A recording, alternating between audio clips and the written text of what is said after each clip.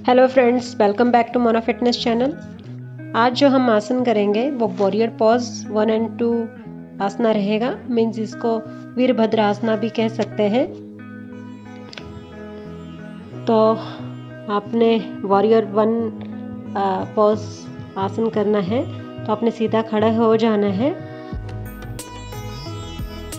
दोनों लेग्स को वाइड करें। इक्वल डिस्टेंस में और दोनों हाथों को इक्वल उठाते हुए जो आपका राइट लेग है, उसको थोड़ा सा बेंड करें होल्ड करने का कोशिश करें, गहरा लंबा सांस लें होल्ड रखें इक्वल डिस्टेंस में अपने आर्म्स को रखना है, वापस पोजीशन में आना है वैसे ही, फिर आपने लेफ़्ट साइड टर्न करना है, और आपका जो लेफ़्ट लेग रहेगा, उसको हाफ़ बेंड करते हुए दोनों जो आर्म्स हैं, उनका इक्वल डिस्टेंस रखना है।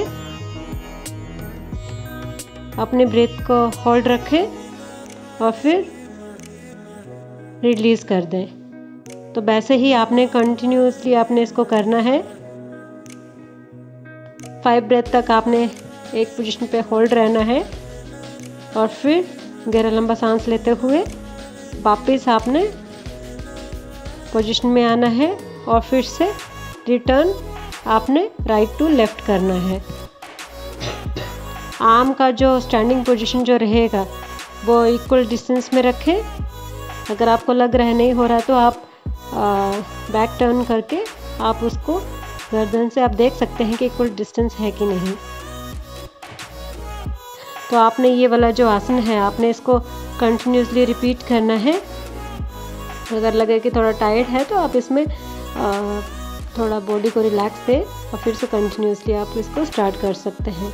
तो वॉरियर वन जो पॉज है, इसको करने से हमारा जो जो स्ट्रेंथ है, उसमें हमारा स्ट्रेंथ बिल्ड होता है और जो हॉल बॉडी जो स्टेमिना है, वो हमारा जो लेग मसल्स में जो स्टेमिना है, वो इंक्रीज़ होता है और लेग्स में भी और आर्म में भी हमारा जो स्ट्रेंथ जो है मसल्स का, वो भी इंक्रीज़ होता है।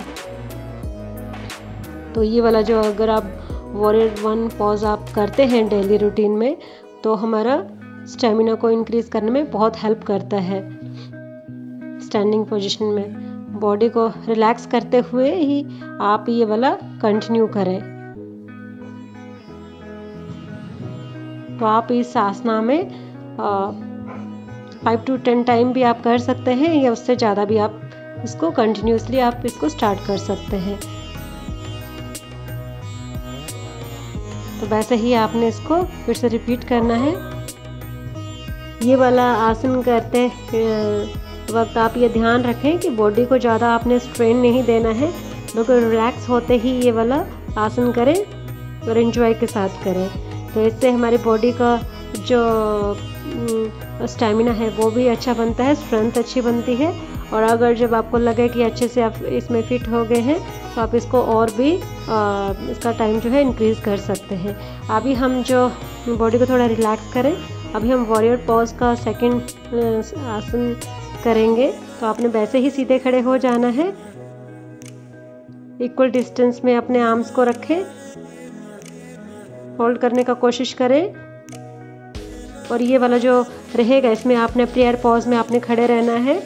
जैसे कि आपका जो राइट लेग है उसको हाफ़ बेंड करते हुए और जो लेफ़्ट है, उसमें वैसे ही वाइट करते हुए डिस्टेंस में रहें। अपने ब्रेथ को होल्ड रखें। कुछ देर के लिए और होल्ड करें। इससे हमारा लेग मसल स्ट्रोंग होगा। वैसे ही प्रेयर पॉज में आपने खड़े रहना है और फिर आपने राइट टू लेफ़्ट आपने टर्न कर देना है वैसे ही। फिर से आपने इनहेल करें और फिर वैसे ही पोजीशन में होल्ड रहने का कोशिश करें। ब्रेथ को होल्ड करें। और फिर एक्सेल कर दें। तो वैसे ही आपने इसमें राइट टू लेफ़्ट आपने वैसे ही रिटर्न आपने इसमें पोजीशन में रह, आना है। और ये वाला जो आप इस पॉस्चर में आप फाइव टू टेन टाइम आप इसको कंटिन्यू कर सकते हैं या फिर उससे और भी ज़्यादा आप इसको कंटिन्यू कर सकते हैं। वन टाइम जो आपने एक पोजीशन में खड़े रहना है उसमें फाइव ब्रेथ तक आपने एक पोजीशन में खड़े रहें और फिर जब वापस आए तो एक्सेल कर दें।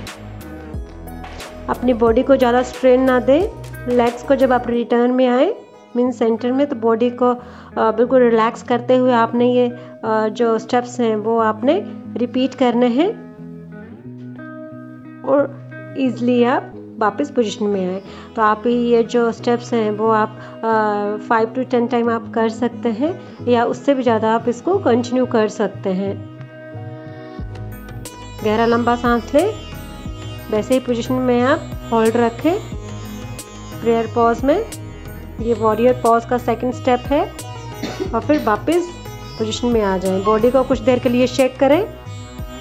स्ट्रेच करें। इससे हमारी बॉडी में जितना भी स्ट्रेस मीन्स आया होगा वो इसमें काफ़ी रिलैक्स मिलेगा। बॉडी को थोड़ा मोमेंट दें। अगर आप डेली रूटीन में warrior pose one and two आप आसना करते हैं तो बॉडी को बहुत ज़्यादा बेनिफिट मिलेगा। तो आप इनको आसना को कंटिन्यू कर सकते हैं। आई होप गाइज़ आज का आपको मेरा वीडियो अच्छा लगा हो। मिलते हैं नेक्स्ट वीडियो में। तब तक के लिए guys stay fit stay healthy bye take care